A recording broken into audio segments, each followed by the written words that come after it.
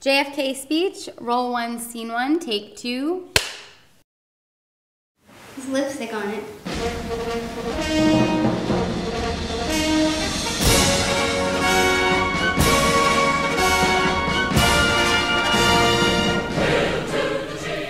Hello, my fellow citizens. I'm John F. Kennedy.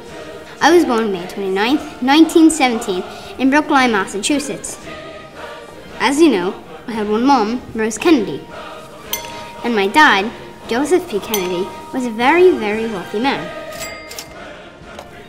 My, my three brothers are Edward Kennedy, Robert F. Kennedy, my most beloved and older brother is Joseph P. Kennedy Jr., which he made my dad Joseph P. Kennedy Sr.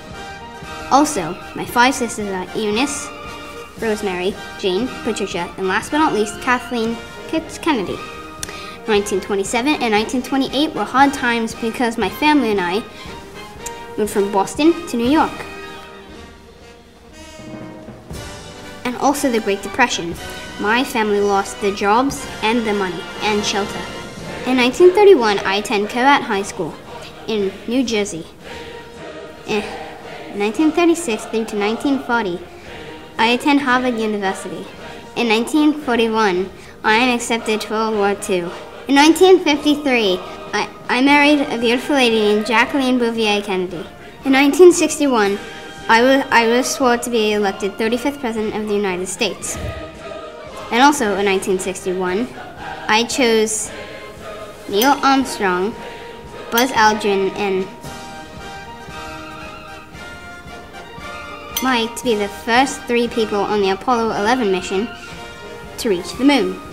I spoke on the free side of the Berlin Wall, giving my famous speech. And so, my fellow citizens, ask not what our country can do for you, but what you can do for your country.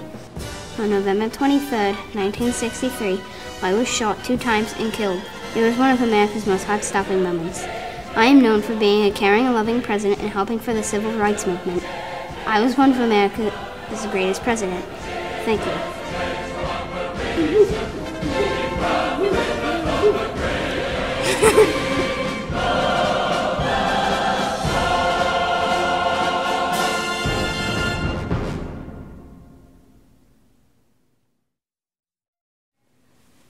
Bye.